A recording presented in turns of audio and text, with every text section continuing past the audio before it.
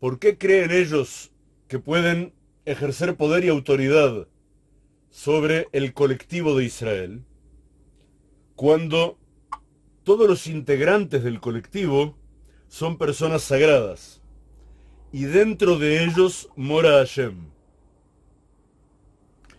¿Dónde está el error? Juguemos juntos. ¿Qué, ¿Qué, es lo que no está bien en lo que dice Korah? ¿Qué es lo que es muy difícil creer que pueda estar bien en lo que está diciendo Korah?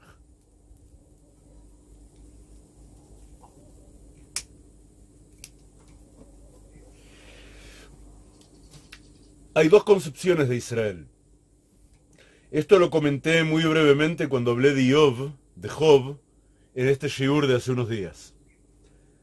Hay un Israel que es el colectivo de Israel, que el colectivo de Israel se corresponde de algún modo con el colectivo de la Torá y se corresponde con el colectivo de la tierra. Y eso es de colectivo a colectivo a colectivo. El colectivo de Israel es sagrado del modo en que la Torá es sagrada y del modo en que la tierra de Israel es sagrada. O sea, es sagrado a priori todo el colectivo entero, como una cosa consolidada, y si esa sacralidad es profanada, es profanada para todos a la vez. Por ejemplo, tenemos la mitzvah, el pueblo de Israel tiene la mitzvah en algún punto, y sin entrar a los detalles cuándo y de qué manera, etc., de poblar la tierra de Israel. Ahora, en el momento en que, por la razón que sea, el colectivo entero no se expande a toda la tierra de Israel, hay una falla en mi mitzvah personal de poblar la tierra de Israel. En la mitzvah personal de todos y cada uno de los judíos. Pero eso porque se trata de una mitzvah que el colectivo debe cumplir. Ahora, el colectivo es sagrado. Ahora, es muy difícil esto de decir que lo que dicen Korah y sus amigos acá, que dicen que toda la congregación, todos ellos, los individuos, son sagrados. Es muy difícil de decir una cosa así. Tú no lo puedes saber. Y no solo no lo puedes saber, a la luz de la historia que nos viene contando la Torá de cómo nos venimos portando, es obvio que no. Es obvio que tenemos que depurar mucho. Entonces, Korah tiene una confusión. Korah tiene una confusión entre la sacralidad del pueblo como tal, de la nación, en la dimensión del colectivo, con la sacralidad del individuo. Porque la sacralidad del individuo es resultado de la teshuvá del individuo, de las acciones del individuo, de las cualidades del individuo, y eso puede llevarlo a uno a ser sagrado o todo lo contrario. Entonces no puedes alegar en nombre de más o menos 3 millones de personas que somos en ese momento en el desierto, no puedes alegar que son todos sagrados a la misma altura que Moshe, y que por consiguiente la autoridad que Hashem le dio a Moshe ya caducó una vez que salimos de Mitzrayim, que de algún modo es lo que pretende decir Korah. Ahí es donde está la distorsión de él. Porque Korah en realidad era un hombre, era un alma muy muy grande. De los descendientes de Korah hay de los rabinos más grandes del Talmud. Korah no está pensando para mal, Korah está pensando para bien. Pero está equivocado.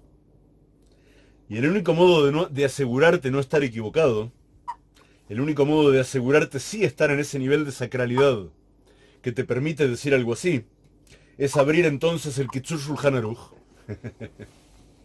en el capítulo 31, y encontrarte con el camino que te lleva a ser sagrado en todo lo que haces. Eh, y vamos a encontrar la respuesta al error de Korah. Dice el Kitsur Shulchan Aruch, el capítulo se llama que todas las intenciones del hombre sean para Shamaim, sean para los cielos, sean para lo sagrado. Y el primer párrafo dice así: Amru Rabotainu Zichronam Libraja, dijeron nuestros sabios de bendita memoria. ¿Cuál es la cita bíblica, la cita de los textos sagrados que todos los cuerpos de la Torá dependen de ella o están colgados de ella. Caramba, una cita una única cita, que toda la Torá depende de esa cita. Y responde el Kitzur Shulchan dice, es un verso que está en el libro de Mishlei, Proverbios, capítulo 3, verso 6, que dice así, Behol drajeja da'ehu, en todos tus caminos conócelo, al Creador, Behu yeyasher orjoteja, y Él va a enderezar tus senderos. O sea, tú lo conoces en tus caminos y Él endereza tus senderos. Son dos palabras distintas. El, verso, el pasuk, tiene dos partes. Y recordemos que dice el Kitzur Shulchan acá, que toda la Torah está como colgada, apoyada en este verso. En todos tus caminos conócelo, y Él enderezará tus senderos. Ahora, hay un guiño interesante en el original hebreo de este verso. Camino y sendero son dos palabras distintas. Derech, camino, orach, sendero. Lo curioso es que en este momento el libro de Mishlei, el rey Shlomo, Salomón, utiliza para decir camino una palabra hebrea, derech, y para decir sendero una palabra aramea, orach, que no es en hebreo. El Gaón de Vilna, el Gaón Rabieliau de Vilna, de quien mi abuela decía que somos descendientes, en su explicación al libro de Mishlei, Proverbios, señala estas dos palabras y dice, presta atención, lo que está señalado en hebreo es lo que es visible, es lo que está revelado. Lo que está señalado en arameo es oculto, es sutil, ocurre por dentro. Y esto quiere decir que tu trabajo es conocer al Creador en todos tus caminos visibles, exteriores como si fuera, y que a cambio de ello lo que va a ocurrir, o como consecuencia de ello lo que va a ocurrir es que por dentro Hashem va a enderezar las, las sendas estrechas por las que te mueves. No los grandes caminos, sino las sendas dentro tuyo. Entonces dice el Kitsur Shulchan ¿qué quiere decir conócelo en todos tus caminos? Perush, explicación, que incluso en los caminos que tú recorres para necesidades físicas, para las necesidades de tu cuerpo, conoce a Hashem y haz todo lo que hagas en su nombre bendito, como ser, en el comer, en el beber, en el conducirte de un lugar a otro, en el caminar, en el sentarte, en el acostarte, en el levantarte de tu sueño, en tu relación sexual, en tu conversación, en todas las necesidades de tu cuerpo, que todo sea dirigido conscientemente al culto a tu creador o a algo que produce culto a tu creador. ¿Se entiende la idea? Bien, ahora, si no, la si no miramos esto que acabamos de leer con la beatitud inocente de aquel que sabe que le están diciendo algo sagrado y tiene que estar bien y punto si lo miramos con nuestro carácter de personas que queremos realizar la Torah, no solamente decirla en términos que no se entiendan.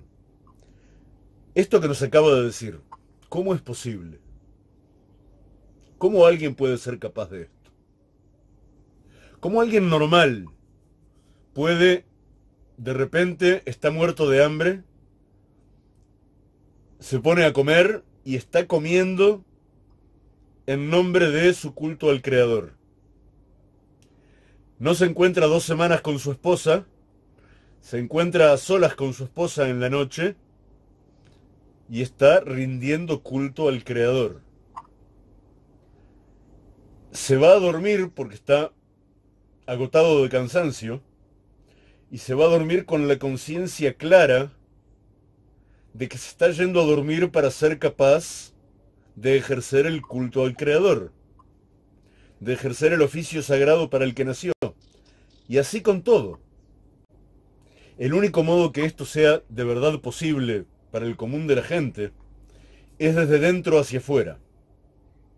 Yo no puedo esperar que alguien en todos sus caminos externos, y externos quiere decir, tú mueves tu cuerpo de un lugar hacia otro, y cada cosa en la que mueves tu cuerpo o que consumes cosas que te da este mundo, tienes un pensamiento beatífico de entrega completa al Creador, si nos ponemos a leer el detalle que hace el Kitsur Shulchan a continuación, repasa cada uno de los verbos que dijimos, y en cada uno de ellos nos lo vuelve a decir con absoluta inocencia. Por ejemplo, dice el siguiente párrafo del siguiente modo. En el caso de la comida y la bebida, ¿cómo lo vas a hacer? Dice, no es necesario decir, por supuesto, que no coma y no beba cosas que están prohibidas, no lo quiera Hashem. No se trata de eso, sino especialmente en las cosas que están permitidas. Si estuviera sediento o hambriento y bebe y come para su placer, es despreciable, sino que debe poner la intención, y la intención es algo interno, no es algo externo, no pertenece a los caminos externos, pertenece a los senderos internos, ¿verdad? Debe poner su intención sagrada en su comida y su bebida, de que come y bebe para tener fuerza para rendirle culto a Shem. ¿A mí qué me está diciendo este párrafo? A mí este párrafo me está diciendo que en todos tus caminos conócelo, y Él enderezará tus senderos. Es un camino de, de ida y vuelta, que con bendición de Hashem lo ejecuto Él todo yo. Porque para ser capaz de conocerlo en todos mis caminos, yo tengo que rectificar mi intención. Es genial, es precioso. Quien no tiene acceso a un pensamiento de verdad abstracto, lo va a entender por el lado del afuera hacia adentro. Se va a plantear ante cada cosa que hace de qué manera dirigir la energía de lo que está haciendo hacia el culto Shem. De qué manera se encargó la Torá y sobre todo la Torá oral, sobre todo nuestros sabios, de conducirnos de la mano sin hablarnos en difícil, sin decirnos de qué modo en el trabajo abstracto, íntimo, interno, filosófico, yo voy a rectificar mi intención. No, me dijeron así, mira, ¿quieres carne? Bueno, entonces primero que nada has de saber de qué animales vas a poder comer carne. Después de eso tienes que saber cómo ha de ser faenado ese animal para que tú todavía puedas soñar con comer de su carne. Después de eso, cómo ha de ser revisada la carne y los órganos de ese animal. Cuando ya sabes que el animal en sí es cayer y la shjitá estuvo bien, te toca salar la carne y lavarla para quitar todo rastro de sangre. Después de eso te toca cocinarlo. Por fin estás sentado a la mesa y tienes un precioso churrasco adelante tuyo. Ahora vas a decir una braja. Ahora vas a decir una bendición. Una bendición que no tiene nada que ver con el churrasco. Porque por la carne vas a decir Baruch ata Hashem Elokeinu haolam shehakol niyavid varo. Que todo se constituye por su palabra. Es genial. No estoy haciendo referencia al churrasco, porque no puedo ponerme a pensar de qué manera mi sistema digestivo va a convertir eh, esa carne en energía y esa energía yo la voy a utilizar para escribir un Sefer Torah. Mientras pienso todo eso ya se me fue el apetito. No hay tiempo para eso. Lo que sí hay es tener presente a Shem en toda circunstancia. Voy a comer, digo una breja. Escucho un trueno en la noche, digo una breja porque Hashem produjo el trueno. Me compro un par de zapatos nuevos, me los pongo, digo una breja porque Hashem me dio esos zapatos. Estamos en un problema porque la gente sencilla o la gente que, que responde más a hábitos que a conciencia presente, y eso lo vemos en el mundo religioso judío hoy mucho y es un problema gravísimo. Ok, repites una, repites una fórmula. Y es un problema repetir una fórmula. La mitzvah no es decir las palabras. La mitzvah es cambiar la conciencia, rectificar la intención. Y si tú repites una fórmula en la que no estás pensando en el momento de repetirla, no estás haciendo nada, estás cumpliendo un ritual vacío. Hashem te provee la llave. En el estar rectificando, en el, estar en el querer rectificar tu conducción afuera, Hashem te está dando la llave para hacer tu verdadero tikkun, tu rectificación adentro. Es todo Hashem. Pero en realidad es en el mismo acto en que tú haces lo que puedes hacer, abres las puertas a que se haga lo que de verdad necesitas que se haga. Entonces, uno, uno de los principios fundamentales pasa por ahí. Hay que tener mucho cuidado entre el ritual y aquello que el ritual está llamado a producir y que yo tengo que ayudarlo a que lo produzca. Lo mismo sucede con los lugares sagrados. Digamos, yo tengo que construir un templo no para que Hashem more en el templo, sino para que Hashem more dentro de mí. Así está escrito en Vaikra. Ve Azul y Mikdash y me harán un templo exterior. Ve Shahanti Betoham y moraré dentro de ellos no dentro del templo. Por eso es que el profeta Jeremías, Irmiau, le dice a Nabucodonosor, Nebuchadnezzar, que estaba muy contento propagandeando por el mundo que venció a Dios y destruyó el templo. Y Irmiau le dice, eres un tonto, tú has molido harina que ya estaba molida. Tú no destruiste ningún templo. Nosotros con nuestros pecados perdimos la sacralidad del templo, y entonces tú tiraste abajo murallas. Pero si nosotros hubiéramos logrado sostener la sacralidad del templo con nuestra propia sacralidad, nunca habrías podido acercarte al templo. Tú fuiste solo un instrumento nuestro, nosotros destruimos el templo, no tú. Y eso es fundamental porque nosotros mismos construimos el templo. Y no lo construimos por vía específicamente de ir a poner ladrillos o piedras. Cada quien de nosotros construye el templo desde hacer el templo dentro propio. Genera el mérito para que el templo colectivo sea posible. De algún modo, eso es lo que no entiende Korach cuando sale a protestar. No se da cuenta con que no alcanza con estar haciendo formalmente las cosas que nos dicen.